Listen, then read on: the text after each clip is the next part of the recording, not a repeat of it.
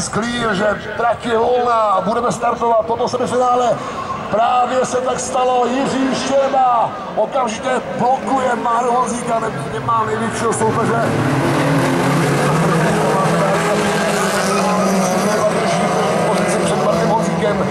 Joker vytahuje Daniel Fernandez.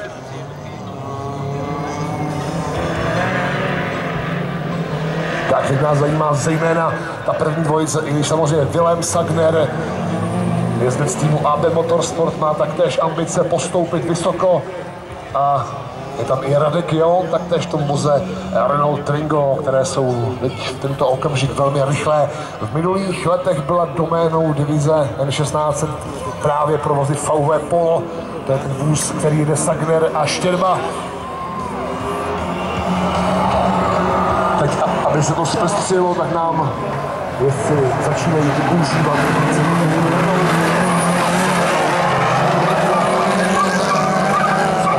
1,6 litrů. Je velmi hezká závodnička Mára Honzík a jeho Joker, měl by se vrátit zpátky za Radka Jona. Pokouší se o jinou strategii, jinou taktiku.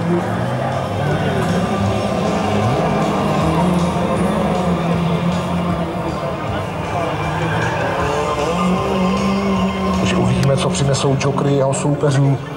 Vildy Sagnera, Radka Jona a samozřejmě Jirky Štěrby. Ale Jirka Štěrba ví, jak se na kotlině sedí, dokáže jen velmi rychle, nedělá chyby.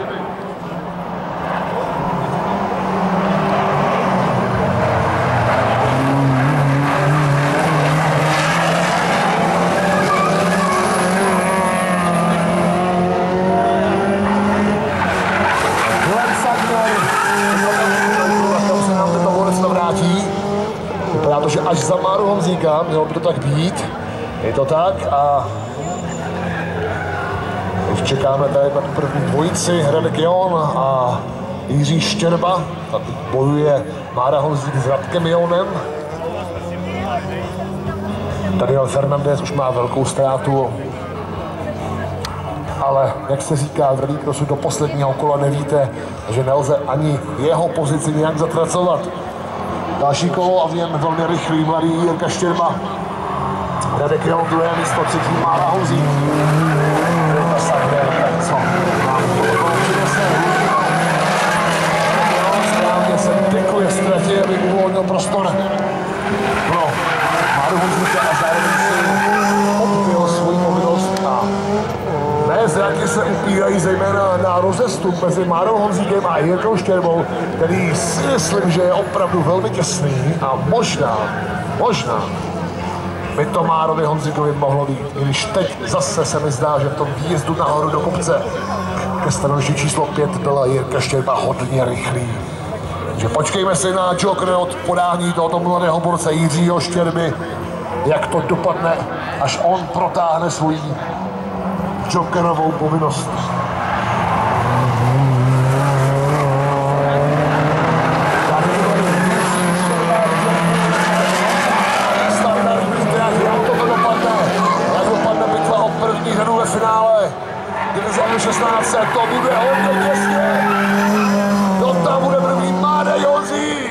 a tam Jirka Štěrba slavil, tak jsou prsty. Marek Jozík byl trošku delší a Štěrba těsně vedle něj.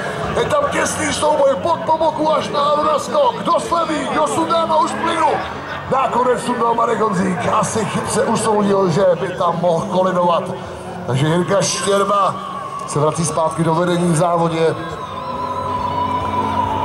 A do posledního kola najede obtěžován Márou Honzíkem.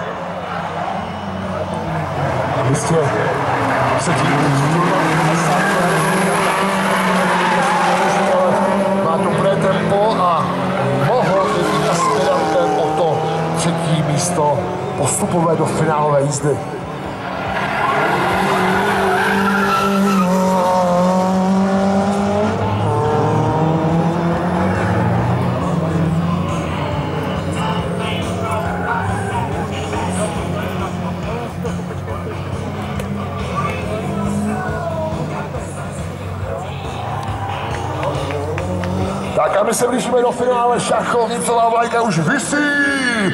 A ten, kdo ji první vidí, je Jiří Šerba, druhý Marek Honzík, třetí Vilda Sagner, že Vilda Sagner si vybojoval finálovou účast jeho velké radosti a radosti týmu AB Motorsport. Tady vidím, že neboť AB Motorsport nám přijel pod sebou, tam spadl